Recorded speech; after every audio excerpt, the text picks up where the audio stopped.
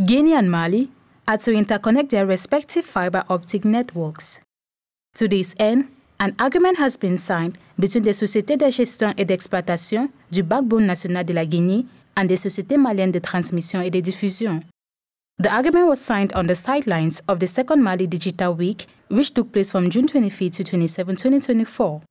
This partnership is part of the desire of both countries to strengthen their national ICT infrastructure in a context marked by recurrent disruptions of the internet network caused by incidents on international links.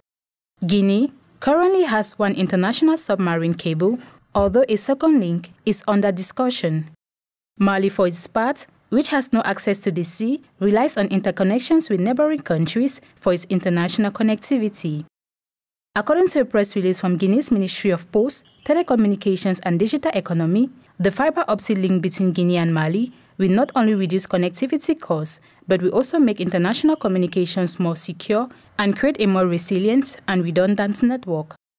According to the latest official figures, Guinea has 14.1 million mobile phone subscribers with a penetration rate of 102.6% and 7.7 million internet subscribers, representing 56.27% of the population.